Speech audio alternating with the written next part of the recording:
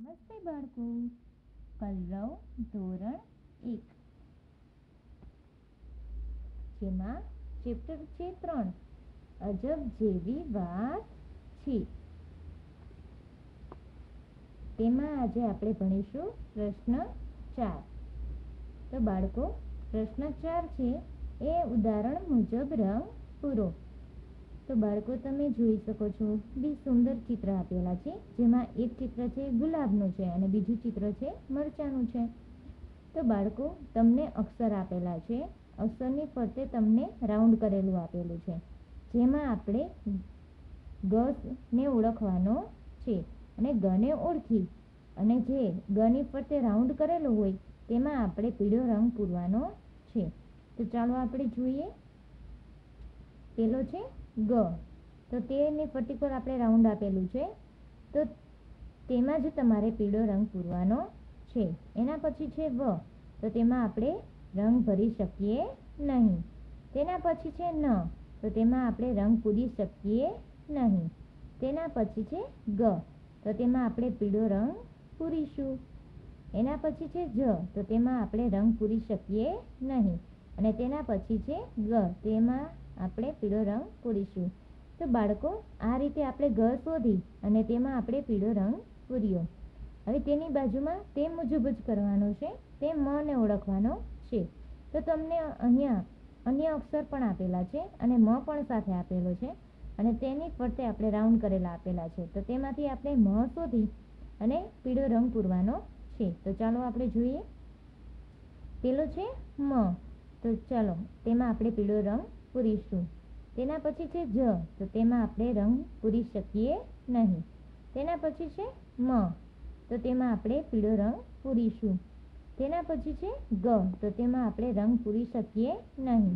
તેના પછી છે ન, તેમાં પણ આપણે રંગ પૂરી શકીએ નહીં. તેના પછી છે મ, તેમાં આપણે પીળો રંગ પૂરીશું.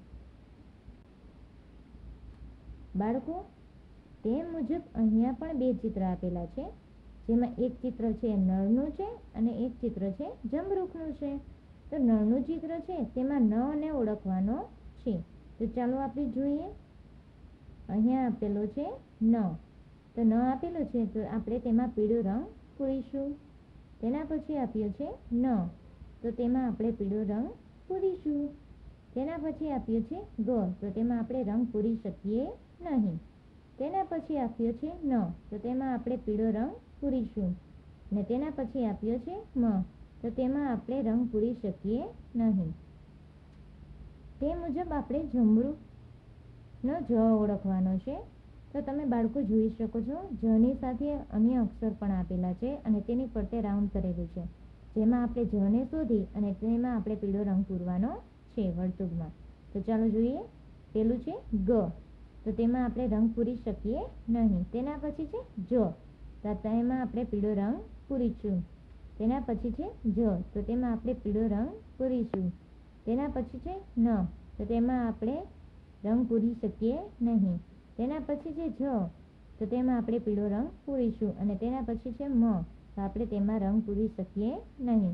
તો બાળકો, તમારે આ રીતે છે એ રંગ પૂરવાના છે. હવે તેના પછી જોઈએ પ્રશ્ન પાંચ. વાંચો. એટલે આપણે તમે જોઈ શકો છો, અહીંયા શબ્દ પરથી વાક્ય બનાવેલ છે, જે આપણે વાંચવાના છે. તો ચાલો વાંચીએ. ન મ ન ન, મ. મ ગ ન જ મ મ ન ન ન મ જ મ ન જ મ ગ ગ ન મ ગ ચ મ તો રીતના તમારે વાંચીને વાંચવાના છે. તે પછી છે પ્રશ્ન છ. તો ચાલો બાળકો, આપણે જોઈએ પ્રશ્ન છ. ઓળખો અને રાઉન્ડ કરો. તો તમારે ઓળખી અને રાઉન્ડ કરવાના છે. બાળકો, તમને અહીંયા આપેલું છે, જેમાં ચોરસ બોક્સ છે, તેમાં તમને એક અક્ષર આપેલો હશે. અને બાજુમાં તમને ત્રણ બોક્સ આપેલા છે, તેમાં તમને શબ્દ આપેલો હશે.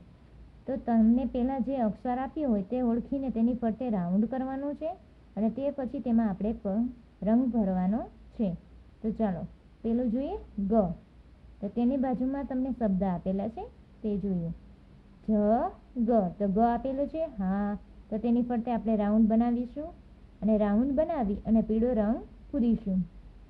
તેના પછી છે પ, ગ, ર, વ. તો ગ આપેલો છે, હા. તો તેની ફરતે આપણે રાઉન્ડ કરીશું અને પીળો રંગ પૂરીશું.